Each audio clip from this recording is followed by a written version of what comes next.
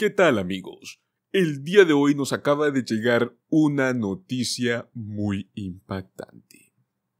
Como bien sabemos, JP Morgan Chase ha estado atrapado en una batalla de sanciones entre los Estados Unidos y Rusia, luego de que un tribunal ordenara la embargación e incautación de cientos de millones de dólares en este banco. Mientras que los distintos bancos en los Estados Unidos como Wells Fargo, TD Bank y Citibank han cerrado puertas en diferentes sucursales. Permanezcan con nosotros para conocer más detalles sobre esta difícil situación en desarrollo. Vamos a mantenerlos actualizados sobre cómo esto podría afectar sus cuentas como clientes y qué pasos pueden tomar para proteger sus activos.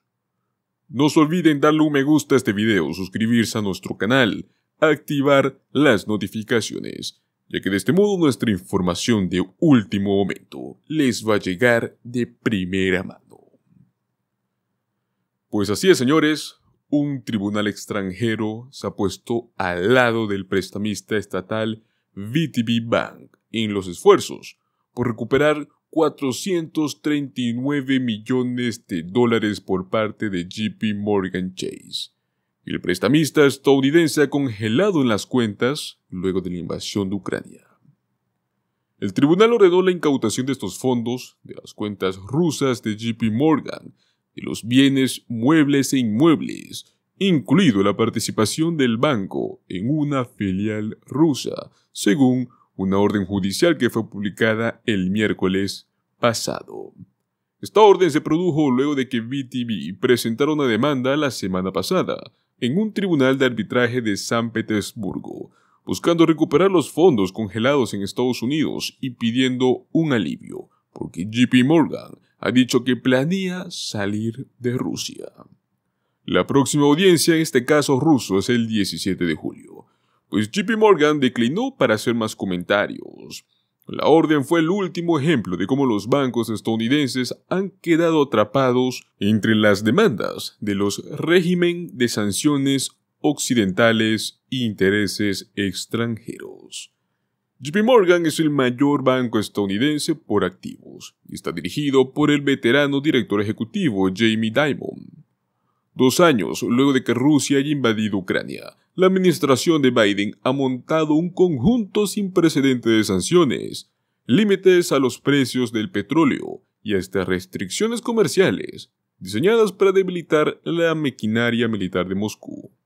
Pues el miércoles de la semana pasada, el presidente Joe Biden promulgó un amplio proyecto de ley para poder ayudar al exterior, lo cual incluye nuevos poderes para que los funcionarios estadounidenses localicen y confisquen activos rusos que estén en suelo estadounidense. También impulsó lo que es un esfuerzo estadounidense en curso para convencer a los aliados europeos de que liberen activos estatales rusos para poder ayudar a Ucrania en su propia demanda contra VTB. La semana pasada en el Distrito Sur de Nueva York, JP Morgan intentó bloquear estos esfuerzos, señalando que la ley estadounidense prohíbe a este banco liberar estos fondos millonarios.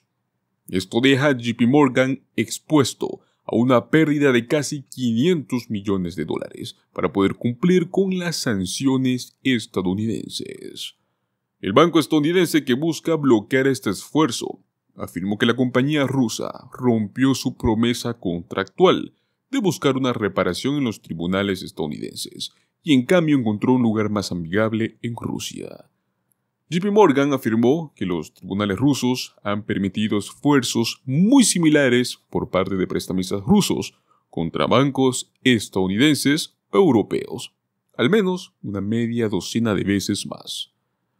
JP Morgan afirmó que estaba enfrentando daños ciertos e irreparables, más que todo por los esfuerzos de la compañía rusa, y que las sanciones en los Estados Unidos no están ayudándolo para nada.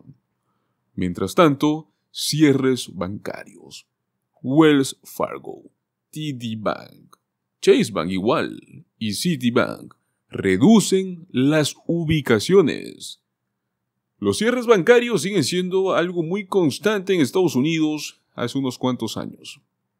Sin duda, esto afecta mucho a las marcas. No es solo a lo determinado en tamaño o activos. Durante la última semana, estos bancos han anunciado la baja definitiva de varias de sus ubicaciones en el país. De acuerdo con el análisis que fue realizado por varios expertos, la costa oeste de los Estados Unidos es la que más se ha visto afectada recientemente por estos cierres bancarios. Según la información que fue publicada la semana pasada por parte de la Oficina del Controlador de la Moneda, algunos de los cierres más importantes provienen de TD Bank y de Wells Fargo, uno de los bancos más populares en los Estados Unidos. El último boletín por parte de la Oficina del Controlador de la Moneda señala que TD Bank está cerrando 20 de sus ubicaciones en Estados Unidos. La mayoría de las sucursales que están siendo dadas de baja están siendo clausuradas en la zona noroeste del país.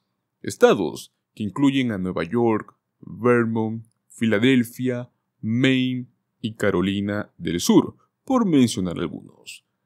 Por su parte, Wells Fargo está dando baja definitiva a ocho sucursales en Estados Unidos. Los estados afectados son Florida, California, Georgia, Nevada y Carolina del Norte, también por mencionar algunas. Como bien sabemos, no son los únicos bancos importantes que están haciendo una serie de cierres. En el caso de Bank of America, de Citibank, de Liberty Bank y Capital One. También están cerrando sucursales en estados claves como son California, Nueva York, Michigan y muchos más. Chase Bank también tiene programado algunos cierres, eso sí, aún no han señalado qué sucursales y las fechas en específico, pero serán en este año. Los cierres bancarios no son algo nuevo. Desde principios de este mismo año 2024, Bank of America ha anunciado el cierre de 50 sucursales a lo largo de diversos estados en todos los Estados Unidos. Aunque no se han concretado todas las bajas, afirmaron pues que esto va a ocurrir a lo largo de todo este mismo año. Según una investigación realizada por el SIP Global Market, en el año 2023, Estados Unidos enfrentó el cierre definitivo de más de 1.400 sucursales, luego en el año 2022 más de 1.800 bajas bancarias y en el 2021 increíblemente casi 3.000 bajas.